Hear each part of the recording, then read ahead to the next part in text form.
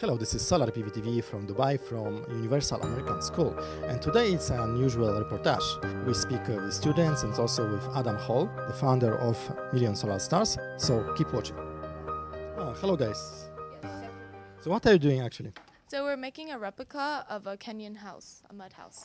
We want to like show that we're spreading Kenya's like lights to the world. So we're gonna put a light in the middle on the ceiling, so we can see the difference on the one with light and one without light. So this is just our first one. We're ma- making also a second one.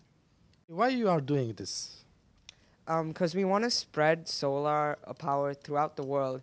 P- many people in Kenya do not have electricity, and solar power is very easy and it's renewable, so they can constantly get electricity so that they can study at home or so that they have light so that they can do their work. I think we're very blessed that we're living in a country that has electricity. People are very unfortunate that they don't have certain uh, aspects of our daily life that they really need, and we're trying to provide it to them. At least do our bit for society and make sure that everybody has clean, sustainable, renewable energy that is low, low cost, more efficient, and simple to use. Heard that uh, you are going actually to Kenya, yes, to visit uh, the children. Are you excited, yeah, that uh, your work uh, can bring the light and uh, improve the life of people there? I'm really excited because at the beginning I didn't really know about this when I just signed up for Kenya. I just wanted to go there for community services, but now since that I know that this light can actually like motivate kids to learn, study and that that just like really surprises me and I'm really happy about it. You are also involved in some other projects, yes? Yeah, I'm making a poster for Hard Rock Cafe.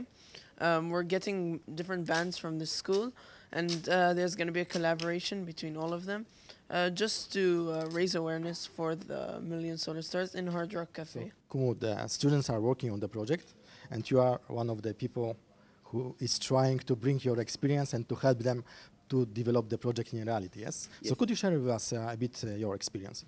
So we, in the past, I worked in Hawaii, and we developed this exact program to bring solar to some schools that didn't have electricity, and uh, we provided education for homeless children and local children that didn't have electricity in our schools. We developed a solar program and did exactly this, but we based it off of the Common Core curriculum with math and science standards as a basis. That gave us an educational foundation so that not only were the kids doing something socially, they were also developing themselves educationally. And as educators, that's why Mr. Hall and I, we, we wanted to make sure that the program was not only giving to children and improving literacy, but we were also developing our own students in an educational platform. And you are bringing the skills of your actual students, yes? Yes, we want we, our actual kids to learn something they can take away from this. When they get finished here, they'll understand how a solar program works, how data collection works, how analysis works, mm-hmm. how to write and formulate a, a grant program so that they can carry this to whatever country we go to. We, we have multiple countries involved already, and I've already had this project done in, in two countries, so we're, we're trying to develop it now to Kenya, then Uganda, then Laos, and, and Shanghai. So we're going all over the place, as well as working with American Indian schools in North America. So we, we're trying to take these kids into global learners and really change the face of the world. Yes, and uh, also bringing the possible great job for them, eh? Oh, absolutely. They get, I mean, they're doing curriculum and reshaping the world. When, when I was a lad, we did math homework. Mm-hmm. We didn't do things that made other people's lives better. These guys have an amazing opportunity, and luckily, I'm, you know, I have a partner teacher here that, that also we share the same global vision. We're making education happen in a way that shakes the pillars of the universe. No one, when we were young, we did We are blessed, yeah? yeah, here we're blessed. As teachers, we're blessed because we grew up and said, man, we should do this. Now we are adults that have a chance to share a dream with these kids. They will become adults that will share that dream with other kids, and that's how we change the world. Adam, are you excited actually about this project and uh, students working with you?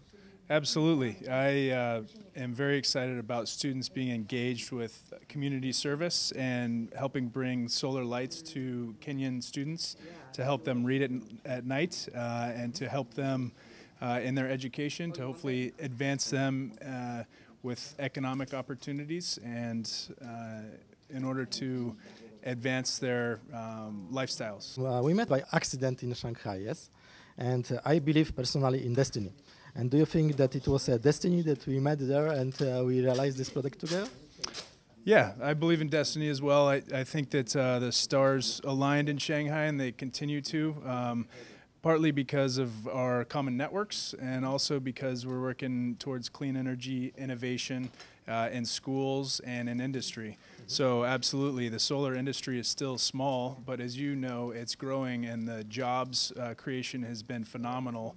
In the U.S., I think there are over 200,000 uh, jobs, for instance.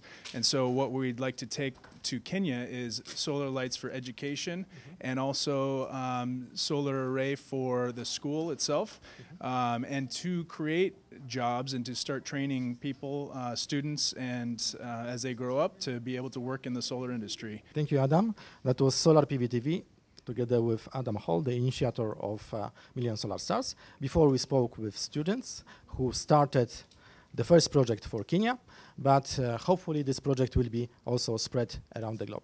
Thanks for watching. The first contact with your organization I had through Adam Hall, who is managing the program Million Solar Stars. And I know that your organization is also involved in clean energies. So, what would be your message to the green, clean, and solar energy communities? My message would be that this is desperately important because it's our reliance on fossil fuels, gas and oil, that is destroying so much of the world, is causing so much pollution, is adding to the greenhouse gases hugely, and we get climate change. So clean, green energy is the only way forward if we want to mitigate climate change. I think that so many people do nothing because they think about everything that's wrong in the world and feel, well, I'm just me, there's nothing I can do.